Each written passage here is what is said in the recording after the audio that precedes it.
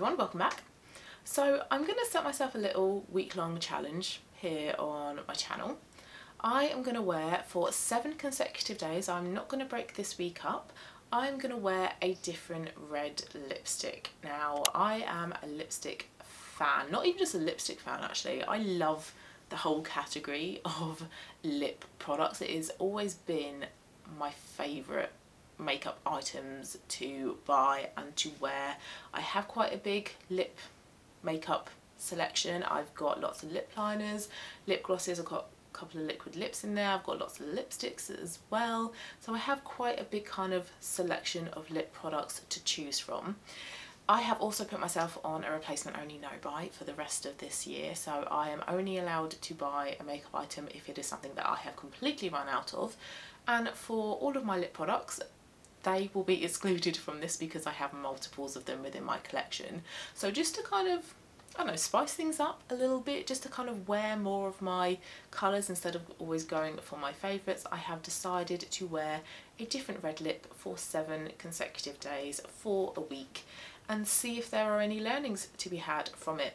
If there's not, then hopefully it's just a fun little challenge. And I do actually have seven, exactly seven red lip options to go for. I did have some that kind of are a bit more rusty, a bit more orangey that I could have possibly put in this challenge, but if we're talking about pure reds, then I do, weirdly enough, have seven. So I do have a different one for each day of this challenge. I have six lipsticks, two of which are in my project pan, which, which will be good to get those worn, and also a lip gloss as well and I'm going to do a little daily check-in for each of the lipsticks that I'm wearing as well. So starting off with day one which is today's lipstick which is my most recent or one of my most recent lipsticks actually. The, this one or my merit ones. But the one I have on today is by Lisa Eldridge. It is Velvet Dragon. It's quite a matte formulation but actually this feels really comfortable on the lips. Before I started this video I did just kind of check because I, I filmed a video prior to this one and I was like oh I don't quite feel my lipstick, uh, has it come off? No, it's still on so it is a very comfortable lip product to wear. So it is like a burnt orange red colour so this is a warm orange based red so not suitable for your cool tone people unless you just want to wear a colour like this but this is best suited to people who have warm complexions and I very much love wearing an orange based red. I don't wear reds that often but when I do a burnt one like this beautiful love it. Quite easy to put on. You don't have to apply much pressure at all. It just kind of glides on. So this is a couple of coats. I blotted it with a tissue. I also got a lip brush and brushed it in as well. And then the lip liner is MAC Chicory and then with the rest of the makeup I've tried to go as kind of neutral as minimal as I possibly can. Now whenever I put a red lip on or if you're going to put a bright bold lip or a, or a dark lip if the lipstick is the main focal point of your makeup try to put it on as early as you can when you're doing your makeup. So I did my primer under eye corrector foundation concealer and then I put my lip product on and then I did my cream cheek products eyes powder cheek products because having the lipstick on first really dictates how much more makeup you need on top of it. And where this is I suppose one of my boldest red lips I didn't really want much else going on with my makeup. So if you're finding it a, little bit tricky to match your blush or your eyeshadow, eyeshadow to your lipstick put your lipstick on first because you can then sort of see how intense you need to go on the blush whether you need any eyeshadow on or not. So with my eyes I just had a Vieve shadow stick, blended it out and then put like a matte ivory shade on top of it, curled my lashes and that was it. A little bit of product in my brows, a little bit of cream cheek products and then a little bit of Milani Luminoso blusher, so like a two-in-one highlighter blusher going on. I didn't actually go for any powder bronzer today and but I feel like this is enough. The lips are doing the, the hard work of the makeup here. They're, they're the main focal point of the makeup, so I, I didn't want anything else going on and trying to compete with it.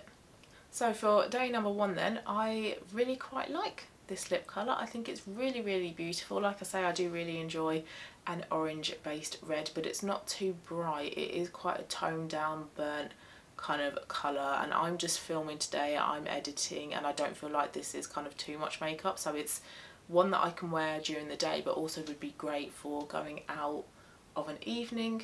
And like I say really really comfortable as well. Great formulation excellent quality. I love the packaging of this as well. It's magnetic.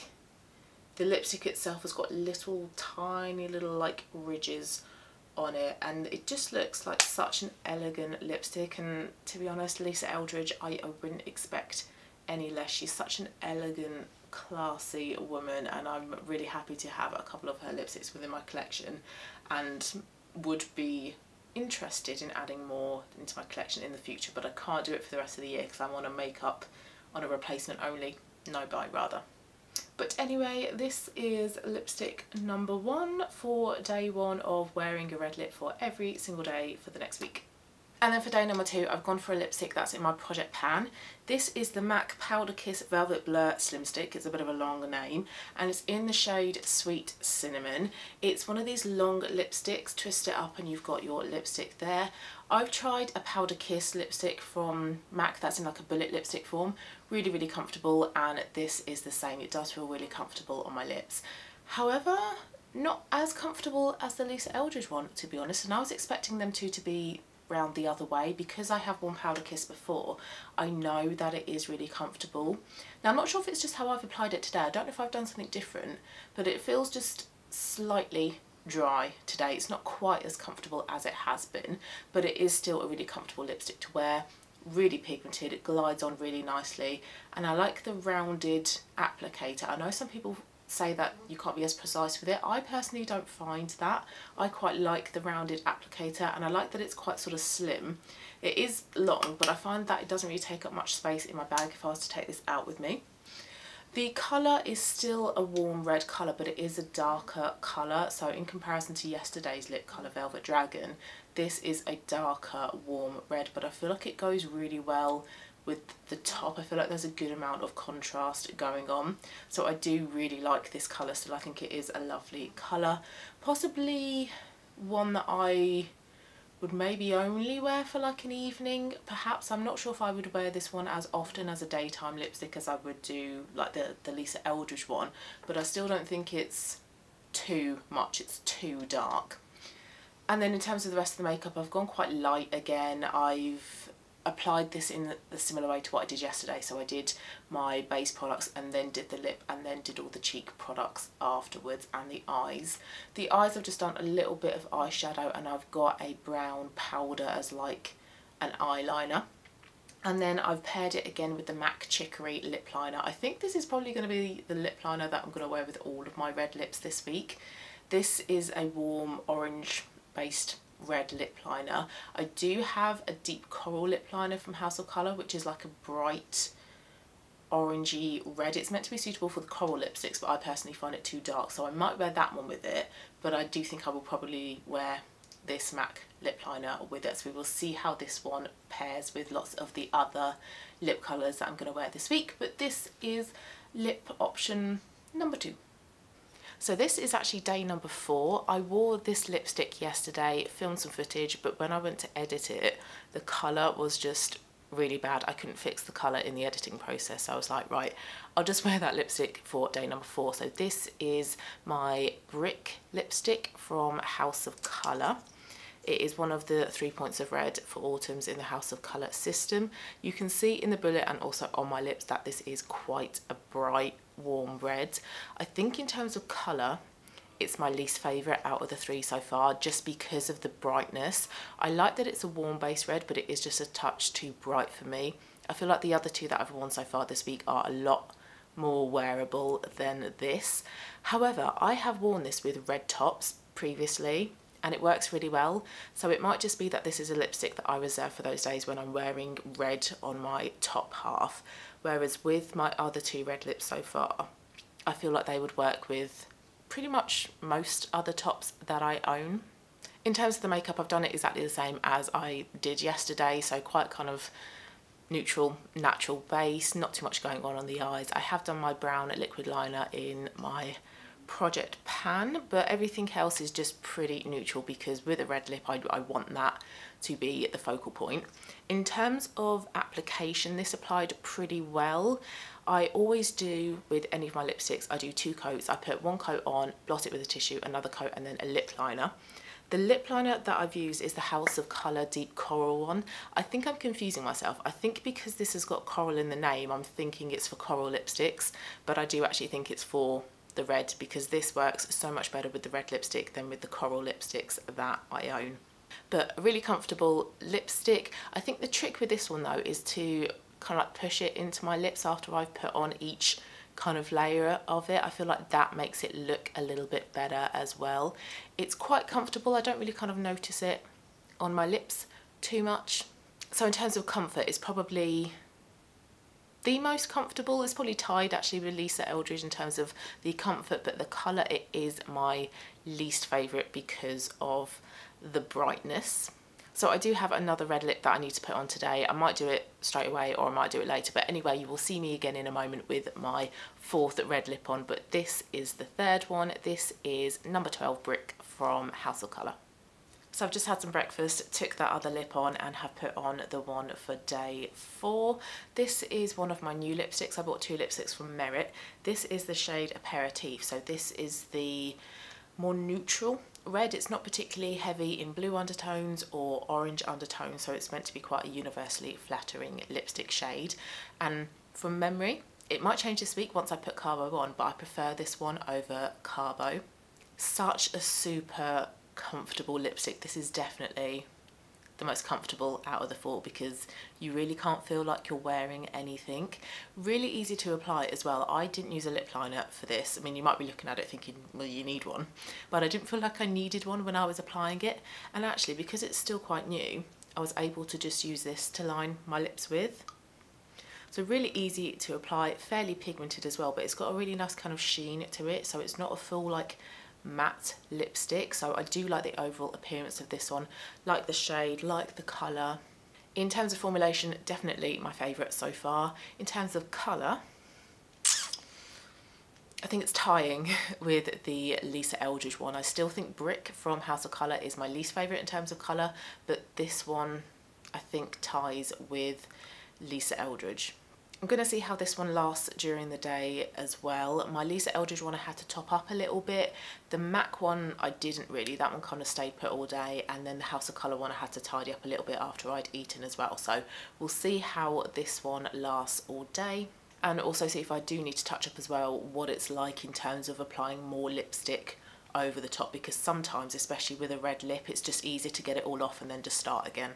Just want to say as well, with this one, I think you can no longer get this one. They seem to only bring this one out in summer. I mean, even though it's only the 1st of August today, actually, as I'm filming this, I don't think you can get this anymore, which is a little bit frustrating because I think a lot of people really do like this particular lipstick shade. But have a look online. I might be wrong. You might still be able to get it. But if not, Cabo is a red option you can go for if you want to try the Merit lipsticks. But anyway, this is lipstick number four.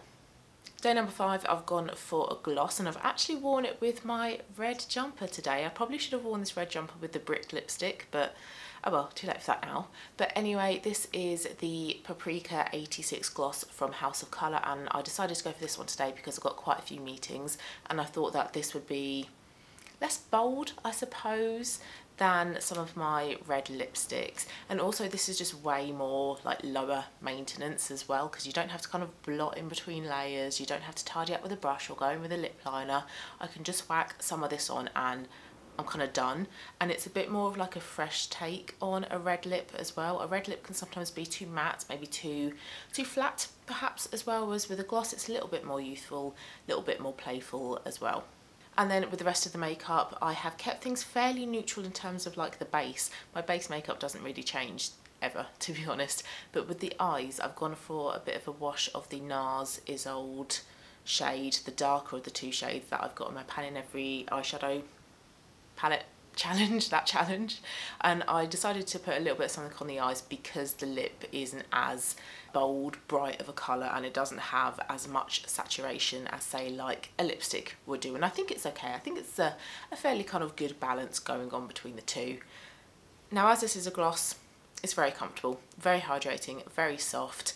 I really love these House of Colour lip glosses. I've mentioned these quite a few times before, but you get a really good amount of pigment.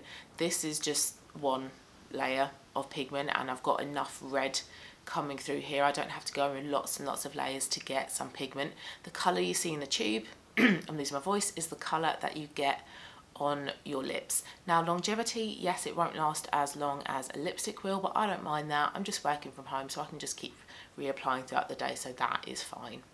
Really like this option. This is one of my favourites because it's more wearable, it's more user-friendly, it's not as intense, but I do still think I prefer Lisa Eldridge Velvet Dragon. So I've had five of these now, haven't I? Maybe this is like second or third, possibly. In terms of formulation and comfort, yes, this is the winner because it is a gloss and not a lipstick. But the colour, I do still think that I prefer Lisa Eldridge Velvet Dragon. I've got two more shades left. I've got Merit Cabo and then I've got my other lipstick in my project pan which is Estee Lauder Persuasive. So I've got two more days left of this challenge but this is day number five. This is Paprika 86 lip gloss from House of Colour. So penultimate lipstick is my other one from Merit. This is in the shade Cabo. This is an orange based red and actually quite similar to Aperitif. I didn't know if they would be that similar when I bought them. I thought it might not be worth getting both but I did want to try both. But actually they are quite different. This one is that orange based based red whereas aperitif is much more of a neutral red it's got both orange and blue undertones to it which is why they call it like their universal red now I did originally prefer aperitif over Cabo, which obviously is the one I have on today. But actually, I am really enjoying Cabo today so much more than the past few times that I've worn it. I'm not sure whether it's the fact that I've got green on as well and having like my warm hair. I think all of it is kind of working pretty nicely together. But yeah, I'm really enjoying this one today. So far, I think this one, in terms of colour, is probably my favourite or it's maybe up there with the with the Lisa Eldridge one. And formulation as well really creamy. It's got this nice kind of sheen to it as well so you can wear it quite sheared out. I've gone in with a couple of coats. I always go in with a couple of coats with my red lipstick but you can blend it out with your lip and create that like light sheer lip effect so the bullet lipstick glides on really well and I use the pointed edge as like my liner. So I haven't got a separate lip liner on with this today and I find that that works pretty well with this lipstick. And then the rest of the makeup like I always do I keep it very kind of natural and pared back. I have slightly less eyeshadow on today than I have done over the past couple of days but everything is kind of quite neutral quite pared back to let the lipstick really kind of shine through but I really like this one today. I think this one is absolutely lovely. I think might actually prefer it to aperitif.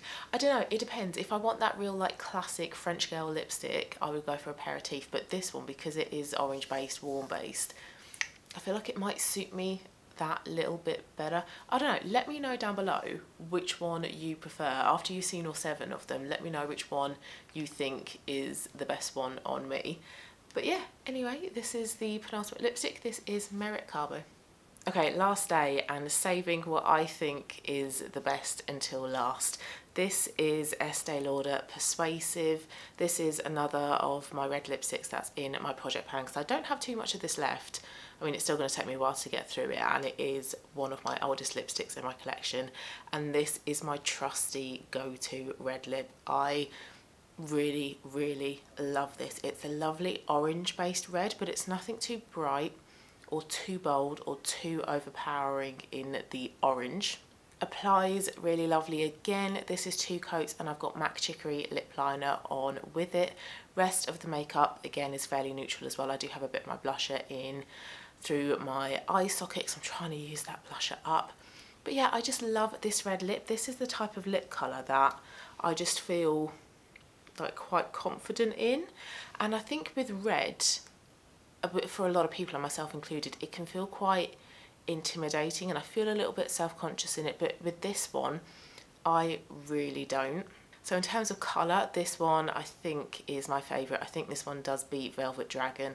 I think Velvet Dragon is a little bit darker than this. I am going to put up pictures as well on my Instagram with all of the seven lip colours so I can kind of sort of see the differences in all of them. In terms of formulation, this is one of the most comfortable ones as well. It is fairly matte, but it doesn't feel matte. It does have a nice bit of hydration to it and this is a really long lasting lip colour as well like I say it's my go-to red lip so I know how this one applies I know how it lasts throughout the day I'll need very sort of like minimal touch-ups on this one which is good so I think for me this one is my favourite but please let me know down below which one you think is your favourite or the best on me. In terms of learnings, I don't think there's too much to kind of take away from this week. The only kind of things that I can think of are that I do like to have other lip colours apart from red. If I only had a red to wear every single day of the week, I would get very bored of it, despite the fact that all of my reds are actually quite different. And you might think a red lip is a red lip, but no, I do see differences in all of my red lips. This one and Cabo are my orange based red lips. Cabo is slightly brighter than this one. It's got more of a sheen to it. Aperitif, aperitif is that kind of neutral, both blue and orange based red. MAC Sweet Cinnamon is slightly darker, Velvet Dragon is also slightly darker as well, but that one has more of that orange tone to it. And Brick is my bright warm red, that's the brightest out of all of them.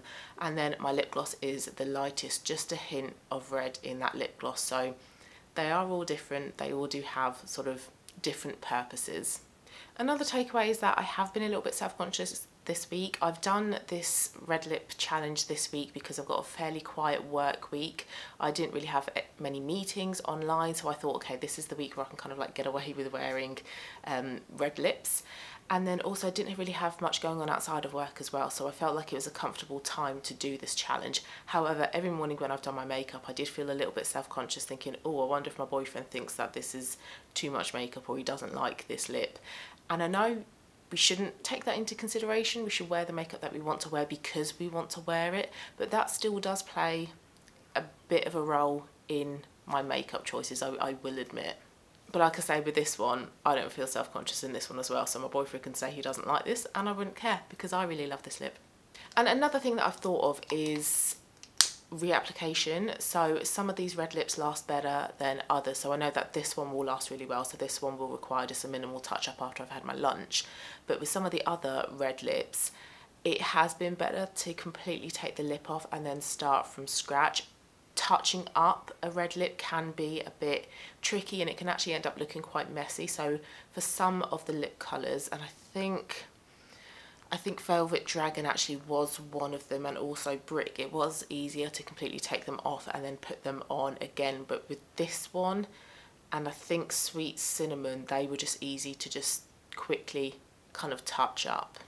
I won't be wearing red lips on a much more regular basis after this. I do like wearing a red lip and I do quite like having different red lips within my collection but I am still a neutral lip girl at heart but I do very much enjoy a red lip to add a bit more kind of interest I suppose to a makeup look or if I want to go for that typical French makeup look or if I've got an evening out or a special occasion where I'm not going to be eating then I would go for a red lip but I like doing little challenges like this. These are really quite fun to do especially where I'm on my no buy and I can't be buying more makeup in. It's about utilizing the makeup that I have. So I might be doing something similar with like some of my orangey lipsticks perhaps or I might do like a wear all of my lipsticks for consecutive days after each other so I can get them all used. But if you've got any suggestions of other kind of like challenges like this that you'd like to see please do let me know Hope you did like it. Like I say, let me know what your favourite lipstick out of the seven that I've worn is down below. Have a lovely rest of your day, whatever it is you're doing, and I'll see you again very soon for the next one. Bye.